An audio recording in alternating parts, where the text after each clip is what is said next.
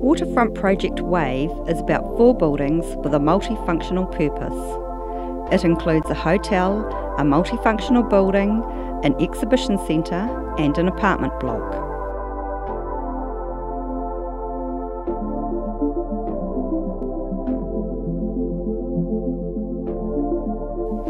Wave is based on a combination of arc grids.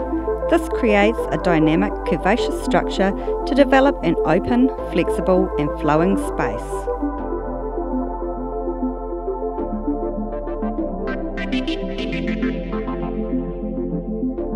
These buildings are covered by glass, a material that accentuates the relationship between buildings and the surrounding environment and built in steel, aluminium and concrete.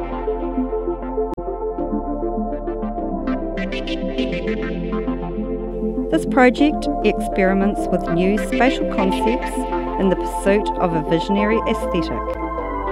The floating roof structure builds a strong contour line when seen from a distance. This relates to the space age.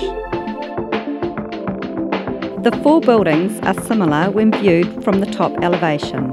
However, they appear different when viewed from the side. This gives a strong connection with each other. This also brings a dramatic dimension to the traditional multi-building composition.